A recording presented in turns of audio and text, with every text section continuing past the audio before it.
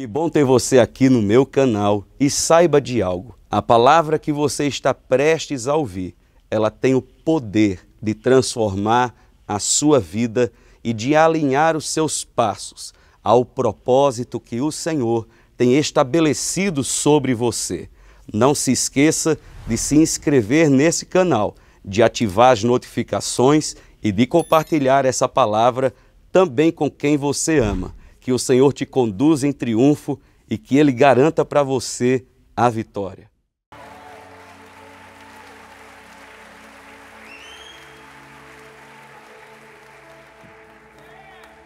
A minha mãe, quem tem mais tempo para me ouvir, diz amém. A minha mãe era muito católica. Nada contra, viu? Amo todo mundo. Tudo certo.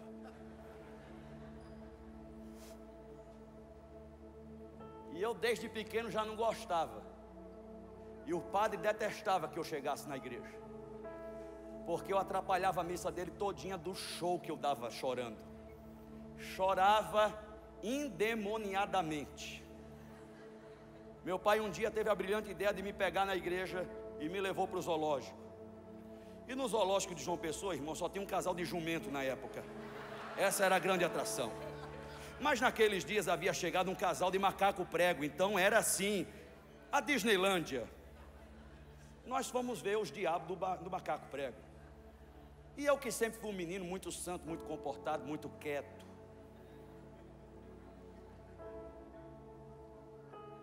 Fui brincar com os macacos prego. Um macaco prego agarrou meu braço, enrolou o rabo no meu braço, enquanto o desgraçado do outro mordia meu dedo. Antes eu tivesse ficado na missa. Meu pai usava aquelas carteiras, chamada capanga. E ele disse para o moço do zoológico que chegou lá: abre aí. O moço disse: Eu não posso, acabar de chegar, é a grande atração da cidade. Ou você abre ou eu mato você primeiro, depois eu mato os macacos. Ele fez bem, entre eu e os macacos, ele abriu. Irmão, era carteira para um lado, macaco para o outro. E meu dedo sangrando e eu gritando aquela confusão e minha mãe rezando.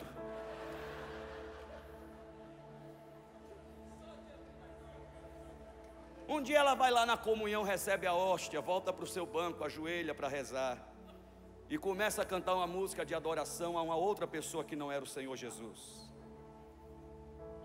E ela disse que uma voz falou com ela e disse: Quem morreu por você? Ela disse: Jesus. E por que estão cantando música para uma outra pessoa? E ela disse que naquela hora ela fez um compromisso com Deus. Não venho mais na igreja. Agora eu vou ficar em casa e vou ler a Bíblia de capa a capa. E ela começou. Ela vendia Natura, ainda vende. Pode comprar com ela, viu? Ela anota no caderno, irmão, que é o caderno e o livro da vida. Quem fica devendo é riscado do caderno dela e no livro da vida também.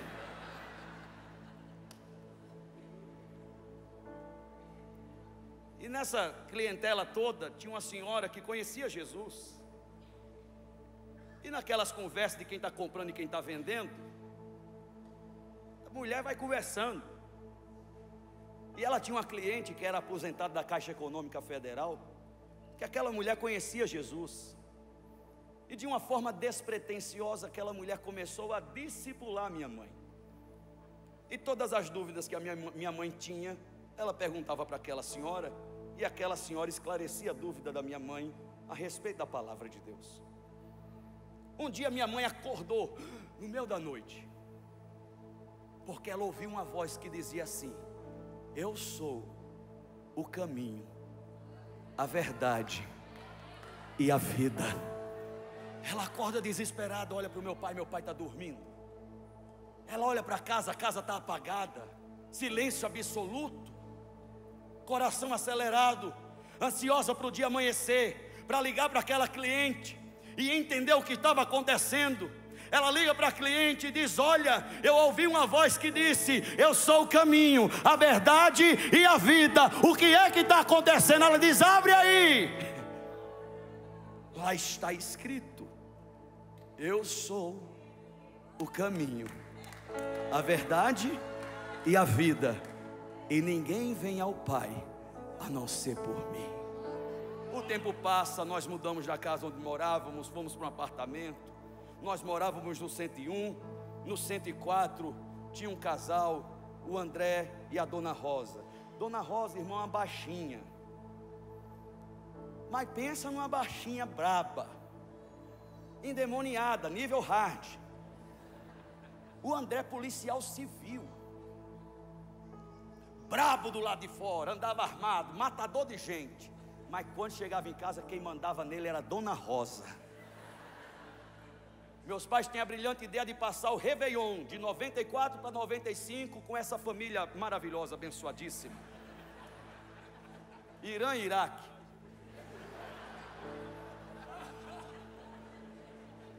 A dona Rosa cozinhava bem numa medida assim extraordinária. Cadê minha mãe? Está por aqui? Está lá no café. Depois vocês perguntam para eles a conversa. A dona Rosa diz: Deixa comigo que eu vou fazer a comida inteira. E ela faz a comida inteira. E vai chegando a noite. E a gente, aquela mania, né? Vou nem almoçar hoje. Quem já fez isso diz amém. Eu faço isso até hoje. Vou nem almoçar, hoje eu vou acabar com tudo. Vai chegando a noite, irmão. A dona Rosa e o André brigam. E ela diz: não vai ter ano novo, não vai ter nada, eu vou fechar a porta e vou é dormir. E a gente que não tem nada a ver com essa briga. Senhora fez a comida. Desgraçada vai acabar com o ano novo nosso. Mata ele, mas não mata a gente de fome. Eu fiquei sem almoçar.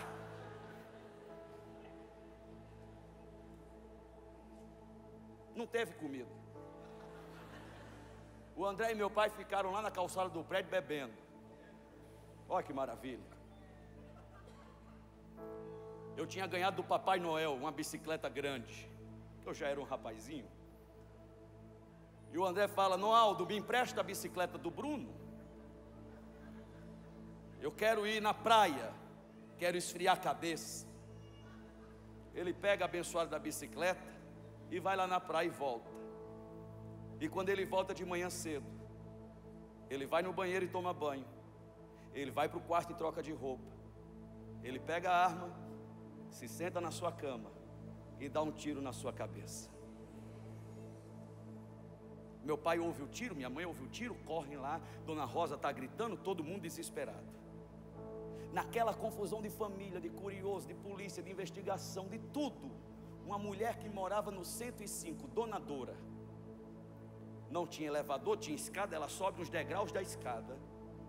E ela disse: Este é o fim de todo homem que não tem Deus no coração.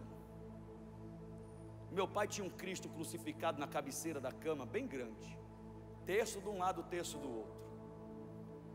Mas ele olha para dentro do coração dele e diz: eu não tenho certeza se ele está dentro do meu coração. Vamos lá no apartamento da donadora rápido, que eu não quero ir pelo mesmo caminho do André. Que história é essa? Que esse é o fim de todo homem que não tem Deus no coração. Ela disse: Você precisa conhecer o amor de Deus e o plano que Ele tem para a sua vida. Porque Deus amou o mundo de tal maneira que deu seu único filho para que todo aquele que nele crê não resolva a sua vida com a morte, mas tenha a vida eterna. Ele disse: Eu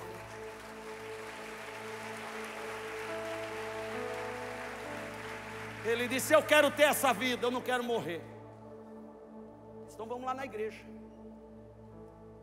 E nós chegamos dia 7 de janeiro de 1995. Era um domingo.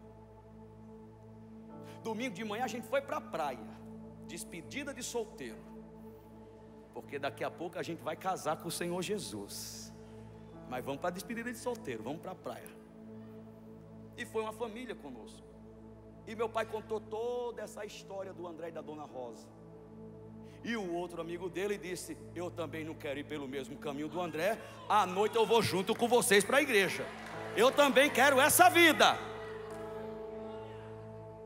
À noite nós estamos lá, enche um banco inteiro as duas famílias. O pastor prega. No final ele faz o apelo.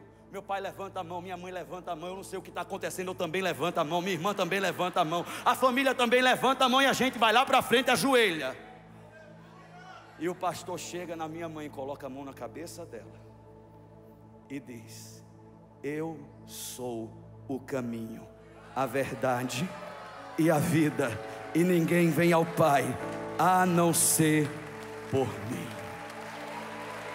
Eu espero que essa palavra tenha encontrado lugar no seu coração e não permita que nenhuma situação ou circunstância venha roubar a fé que ela gerou em você nesse instante. Tenha certeza que o Senhor está com você e que Ele é o mais interessado para que você possa avançar e viver coisas extraordinárias que Ele tem para a sua vida. Deus te abençoe.